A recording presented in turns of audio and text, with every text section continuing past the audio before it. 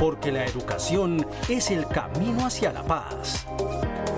Nosotros vamos donde están las historias, buscando la verdad de maestros que hacen grande Colombia. Y todos sus protagonistas tienen su espacio en Encuentro. Hola, muy buenos días, bienvenidos a Encuentro, el programa institucional de la Federación Colombiana de los Trabajadores de la Educación.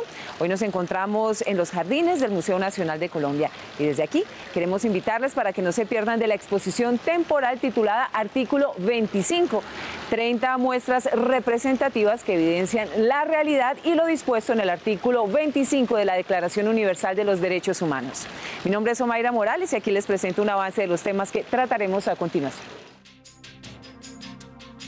FECODE cumplió con el cronograma a los docentes inscritos en la tercera cohorte de la evaluación de carácter diagnóstico formativa. Con el proyecto de Aula Investigadora, un docente de Monteliébano, Córdoba, busca generar movilidad social en los estudiantes para que cuando terminen sus estudios surjan profesionalmente. En Colombia, el asesinato de líderes sociales no es una novedad. Infortunadamente es un recrudecimiento de una catástrofe humanitaria. Aunque el Ministerio de Educación Nacional trató de postergar la evaluación de carácter diagnóstico formativo diciendo que tenía problemas de logística y financiación, FECODE le exigió cumplimiento estricto al cronograma establecido. El 93% de los maestros inscritos pudo subir sus videos a la plataforma. FECODE le cumplió al magisterio colombiano con la evaluación de carácter diagnóstico formativa para que más de 80 mil educadores del 1278 de todo el país pudieran ascender en el escalafón y mejorar así sus ingresos salariales. Al corte de las 12 de la noche del día 27 tenemos 83.344 eh, videos cargados es decir, el 93% de los maestros inscritos. Faltan todavía datos que tienen que ver fundamentalmente con los que se enviaron en físico, en primer lugar, y en segundo lugar, los que tienen que ver con situaciones administrativas como amenazas, eh, como licencias de maternidad o incapacidades por enfermedad, aunque el Ministerio de Educación días antes a la fecha límite 27 de junio, fecha para subir el video, planteó que había que modificar el cronograma de la evaluación FECODE, exigió cumplimiento al acuerdo firmado y el Ministerio tuvo que mantener la fecha, garantizando efectividad en la plataforma y abriendo la posibilidad de abrir en físico de ser necesario el video y la información requerida. Frente a los cursos de ascenso para los maestros de la segunda cohorte, Finalmente se inscribieron 5.327 docentes de 5.636. Como podemos ver, hubo un número importante de compañeros que no se inscribieron, pero que tampoco renunciaron para darle la posibilidad a los compañeros que seguían en el orden, en la lista, para que pudieran hacer el curso. Es responsabilidad del Ministerio de Educación garantizar el cumplimiento del cronograma de la evaluación. Se permitió, ese es un logro de FECODE, que los compañeros que están haciendo el curso de la segunda corte pudieran hacer los que tuvieron a bien inscribirse para la tercera corte, pudieran participar en la tercera corte. Al final estamos en un dilema porque el gobierno nacional no nos ha aceptado todavía que estos compañeros puedan hacer las dos cosas al mismo tiempo. Pero lo que nosotros hemos venido planteando es que jurídicamente no hay ningún impedimento se está prácticamente en la última parte del proceso y aunque el gobierno ha buscado relacionar el rubro de los ascensos de los educadores a la regla fiscal para torpedear el mismo, FECODE lo ha impedido y así lo seguirá haciendo, porque está en juego el derecho a dignificar la calidad de vida de los maestros del país. Pero todos tendremos que estar preparados para las movilizaciones que correspondan para garantizar los recursos para los ascensos, única forma de materializar el derecho. El politólogo Arturo Charri abrió el debate sobre la necesidad de una reforma curricular. Sin embargo, el CEI del Centro de Estudios e Investigaciones Docentes manifiesta que antes de dar este paso hay que fortalecer la libertad de cátedra. El politólogo y columnista Arturo Charria analiza la posibilidad de una reforma que modifique en su totalidad la Ley General de Educación de 1994, en la que se establecen las directrices para los currículos, planes de estudio, contenidos y asignaturas obligatorias. Para Charria se debe pensar qué hacer con la gran cantidad de cátedras que se han creado y hacer una depuración. Uno de los problemas más grandes que, eh, tiene el sistema educativo es la cantidad de cátedras o arandelas que le ponen a, a, las cátedras de sociales, eh, a las distintas clases y que se vuelven contenidos obligatorios y que de alguna forma recaen directamente sobre el quehacer docente de acuerdo con el politólogo Arturo Charria, las cátedras creadas por iniciativa de los legisladores se votan sin ningún tipo de consideración y sin pensar en las consecuencias que tienen estos cambios para la comunidad educativa. Yo creo que uno de los elementos más importantes eh, es ser muy responsables en lo que implica la educación, es decir, eh, cuando se maneja la educación de manera irresponsable, como, como suelen hacer los ciertos sectores políticos, eh, no son conscientes de las implicaciones que tienen estas decisiones. Para el CEID, prohibir la libertad de cátedra es restringir el contenido y el desarrollo de habilidades de los estudiantes. Si bien es cierto que hay que ajustar la Ley General de Educación en algunos puntos, también se debe recibir propuestas que permitan fortalecer las asignaturas y los pensum académicos. El problema de fondo es histórico. No se trata de salir con otras reformas, se trata de entender qué ha pasado en los últimos 25 años. La Ley General de Educación hizo una reforma al currículo y es una de las reformas más avanzadas que vale la pena considerar, pero esa reforma no se complementó, no se implementó, no se desarrolló a fondo. Lo que está ocurriendo hoy es una contrarreforma educativa, una contrarreforma educativa que se ha ido construyendo históricamente a pocos años de la Ley General de Educación. Y toda esa carga y saturación de actividades y ese activismo exagerado de tantas cátedras obedece a, a parte de esa contrarreforma educativa. Es necesario posicionar el tema de la educación en la agenda legislativa del próximo periodo, no solo por el bienestar de los estudiantes, sino también por el de los docentes y padres de familia. A seis meses de terminar el mandato del alcalde mayor del Distrito Capital, la de la Asociación Distrital de Educadores hace un balance de lo que ha significado la presencia de este burgo maestre en materia educativa en la ciudad. En diciembre llegará su fin Bogotá para todos. Sin embargo, el eslogan de la campaña de Enrique Peñalosa fue una simple mentira. Durante estos cuatro años, la administración distrital le incumplió a los docentes, padres de familia y estudiantes. Se privatizó la educación, se impuso la jornada única sin condiciones, se disminuyó el presupuesto para la capacitación docente y de 30 colegios que se pensaban construir, solo fueron entregados 5. Lo que hizo fue prorrogar los 22 contratos de concesión eh, y meter 13 colegios más en concesión, es decir, endeudó a la ciudad en cerca de 1.3 billones de pesos que valen las, las 22 concesiones a 10 años y endeudó a la ciudad con 369 mil millones de pesos que valen las otras 10 concesiones educativas. Esta administración, que se entregó a los intereses de los contratistas, le cerró la puerta al magisterio. Los docentes de la capital del país se sentaron en diversas oportunidades con la secretaria y ahora ministra de Educación María Victoria Angulo para exigir garantías en temas de salud e infraestructura. Sin embargo, a pesar de las innumerables solicitudes, movilizaciones, plantones y paros, la administración distrital hizo caso omiso a estas peticiones.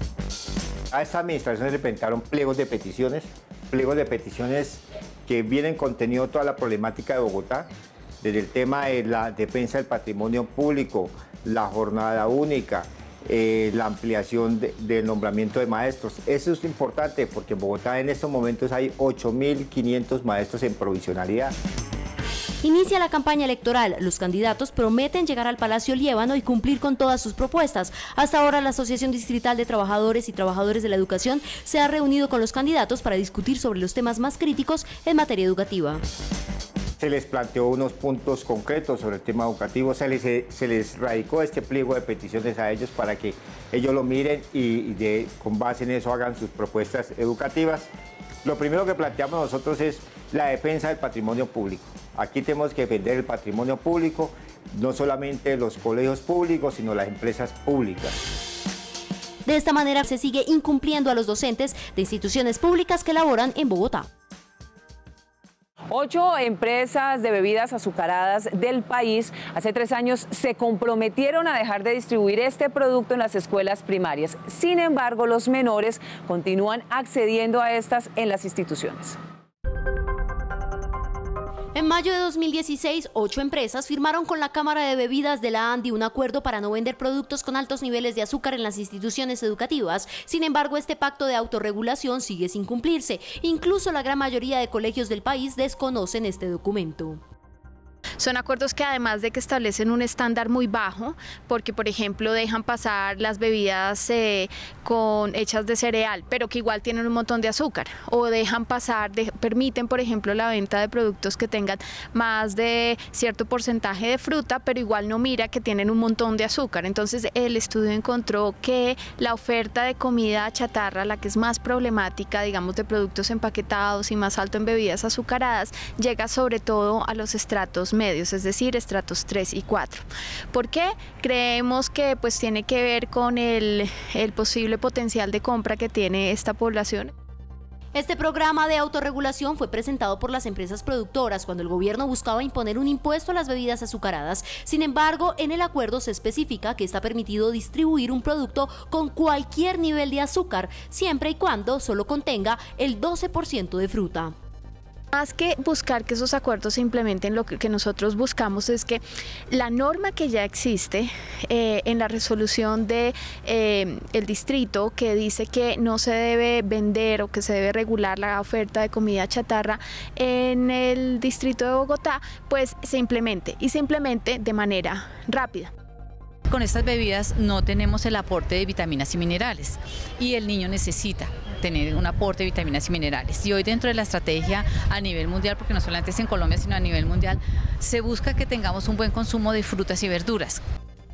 FECODE rechaza la venta de este tipo de bebidas, las cuales no aportan valor nutricional a los niños y niñas en formación. Además, las instituciones educativas deben velar por la alimentación saludable de los menores, tanto en el plan de alimentación escolar como en las tiendas ubicadas dentro de los colegios. El profesor Francisco Torres, secretario de Relaciones Internacionales, a esta hora le habla a los maestros y a las maestras que amablemente nos sintonizan.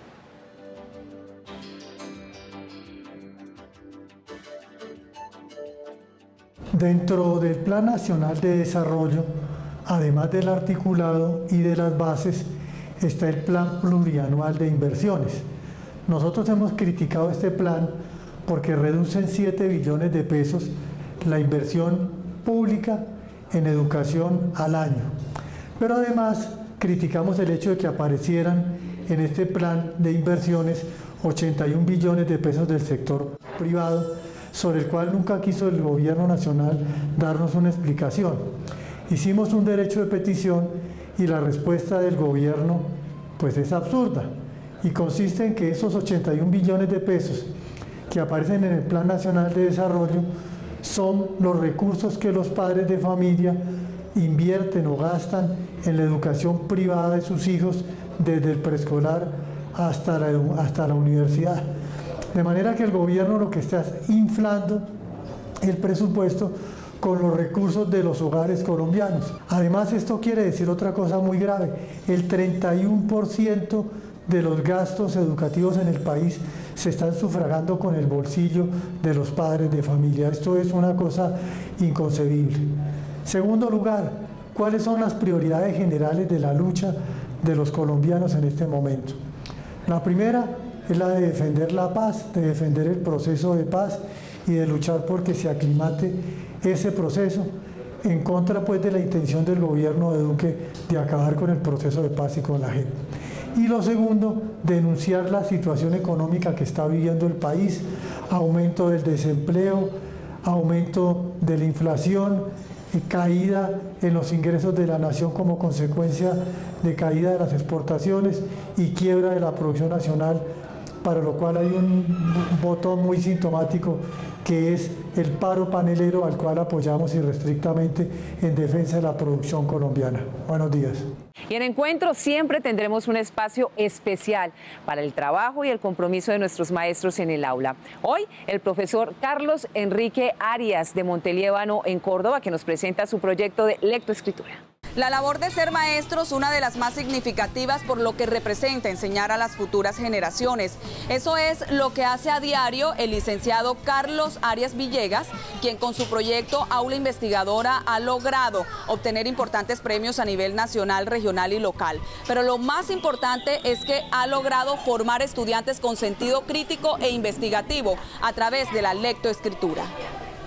Con la puesta en marcha del proyecto Aula Investigadora, el profesor Carlos Arias Villegas de la institución educativa San Antonio María Claret en Montelíbano, Córdoba, logró disminuir la deserción escolar en un 90% y que los jóvenes egresados accedieran a la educación superior.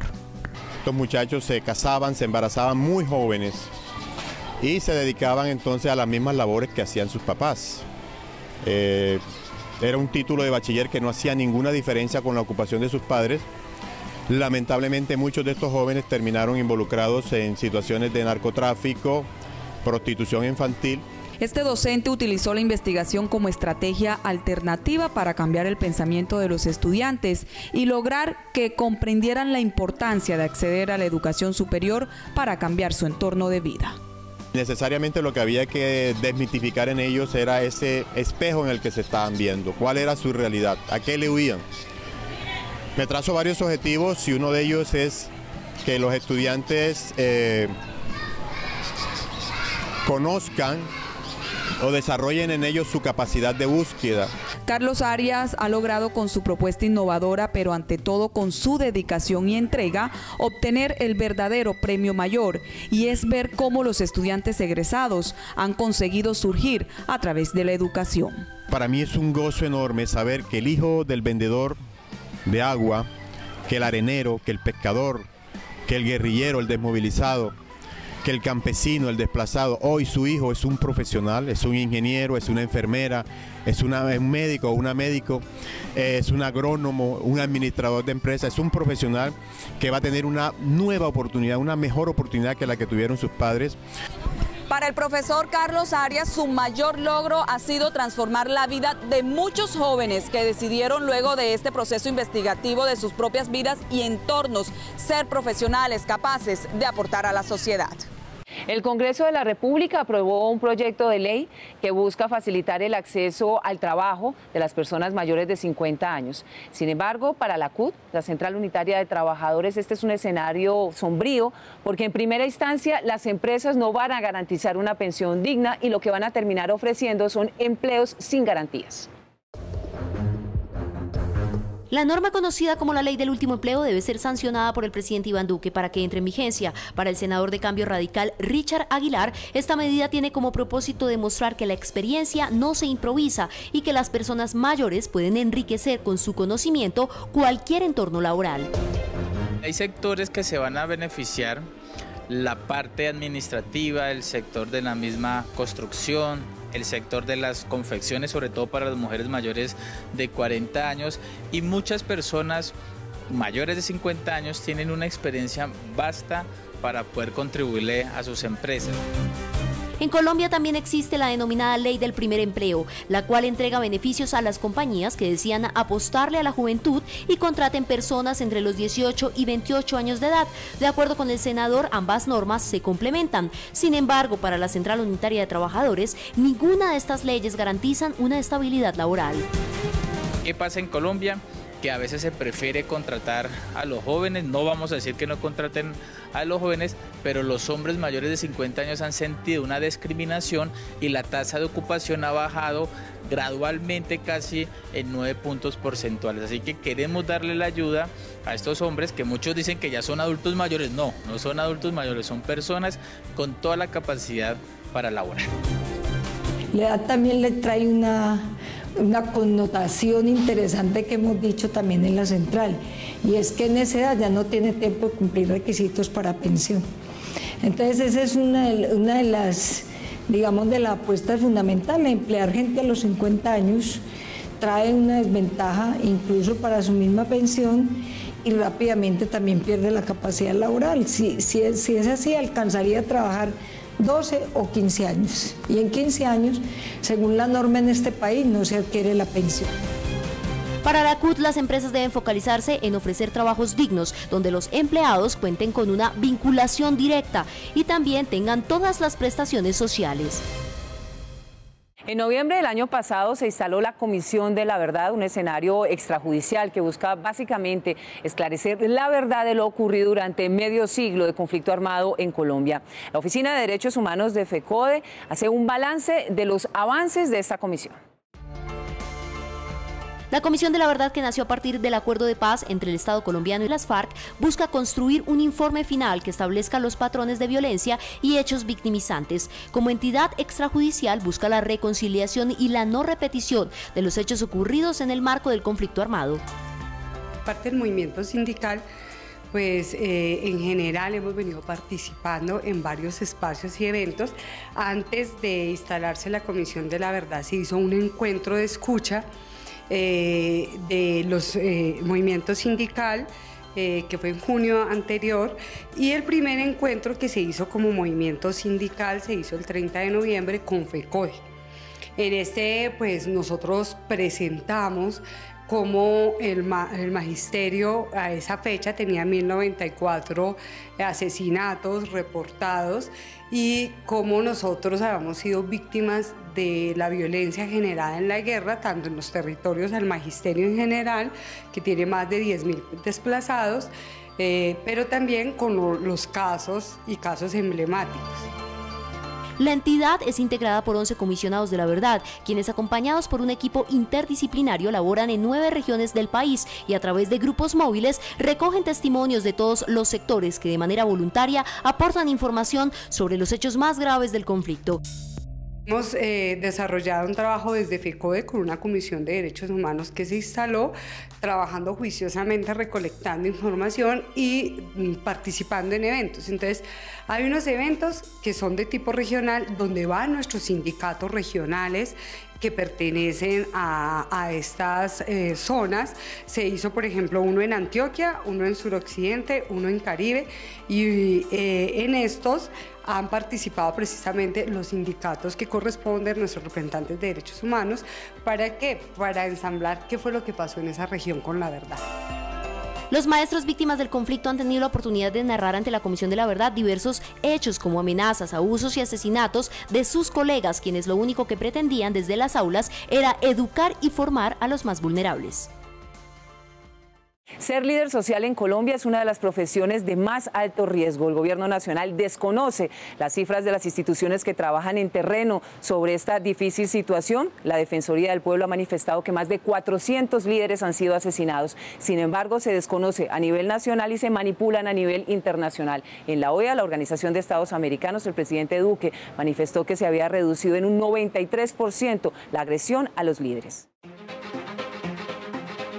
Ellos son líderes y lideresas, hombres y mujeres que en Colombia históricamente dejaron su humanidad y razón social para convertirse en cifras y estadísticas que los gobiernos desmienten sus detractores a conveniencia, desconociendo la gravedad de la desaparición de quienes reivindican los derechos y las voces de quienes son invisibles. La Fuerza Pública hace un reporte de 184 personas dadas de baja en combates es decir, pertenecientes a grupos al margen de la ley. Y usted ve el reporte en 2018, estos son cifras de ese año, de la Defensoría del Pueblo, 178 líderes asesinados.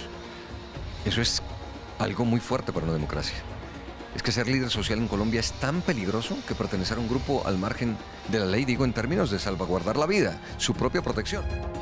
La Defensoría prendió las alarmas en el 2018 sin ningún eco por parte del gobierno saliente y mucho menos del entrante. La falta de presencia del Estado en regiones abandonadas por las FARC evidenciaron la problemática real de territorialidad en el país, lo que colocó a los líderes sociales en el ojo del huracán. Tierras en despojo, narcotráfico, delincuencia y aparición de reciclados grupos insurgentes son hoy sus verdugos en medio de la indolencia nacional. Tenemos un Estado ni un gobierno que lidere la superación de ese problema. Y lo peor que se puede hacer es desconocerlo, porque es un problema grave que se mantiene en la sociedad colombiana y que hay que afrontarlo. Y ese gobierno no lo está afrontando de manera adecuada. Aunque no hay cifras que coincidan, unos hablan de más de 400 asesinatos desde el 2016 a mayo de este año, como la Defensoría del Pueblo, que trabaja en terreno. Otras organizaciones no gubernamentales de más de 500, como si uno solo no fuera ya una tragedia humanitaria. El titular de la OEA, Organización de Estados Americanos, destacó la disminución del 93% de las cifras que presentó Duque, desconociendo las denuncias internacionales y alertas en el país, porque el dolor de la Colombia profunda lo viven los hijos de estos líderes y lo desconocen de frente los políticos de turno. El profesor Nelson Javier Alarcón, presidente de FECODE, como ya es tradicional, nos editorializa nuestro espacio de hoy.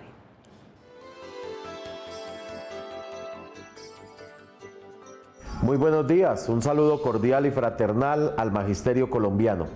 Desafortunadamente continúan las amenazas hacia nuestros docentes y líderes sindicales. Rechazamos tajantemente la situación de la cual ha sido víctima nuestra subdirectiva de Zarzal Valle, pero también las amenazas que ha sido víctima alguno de nuestros compañeros y compañeras presidentes de nuestros sindicatos filiales e integrantes de las mismas subdirectivas. Nuestra exigencia al gobierno nacional, al señor presidente de la República, a la señora ministra de Educación, al ministro de Defensa, a la Procuraduría General de la Nación, para que se brinden las garantías necesarias y se brinden las condiciones para el ejercicio y la libertad sindical. Hoy no podemos continuar en una situación tan atroz como es el asesinato de nuestros líderes sindicales y sociales en el país. En segundo lugar, aclaramos al magisterio colombiano que el Ministerio de Hacienda giró los recursos necesarios para la cancelación del incremento salarial y a la vez el retroactivo al primero de enero del año 2019 de todos los maestros y maestras de Colombia. Estos recursos fueron girados a cada una de las 96 entidades territoriales por cuanto hoy no debe ni existe disculpa por cada uno de ellos para que no se cancelen a los maestros y maestras de Colombia de estar presentándose esta situación en cada una de las entidades territoriales es responsabilidad de las mismas por cuanto los dineros fueron girados por parte del Ministerio de Hacienda. Frente al tema de la cancelación de la prima de servicios a la cual tienen derecho todos los maestros y maestras de Colombia, hay plazo por cada una de las entidades territoriales para la cancelación de la misma hasta el 15 de julio del presente año. Los dineros serán girados por parte del Ministerio de Hacienda y Crédito Público en los próximos días. Esperamos que cada una de las entidades territoriales cumpla con el pago hacia nuestros maestros y maestras de Colombia. Por último, en el día de ayer se instalaron dos comisiones adicionales frente al tema del cumplimiento de los acuerdos pactados y firmados el pasado 15 de mayo con el Gobierno Nacional. La próxima semana se instalarán otras comisiones en la cual seguiremos la implementación de cada uno de los acuerdos.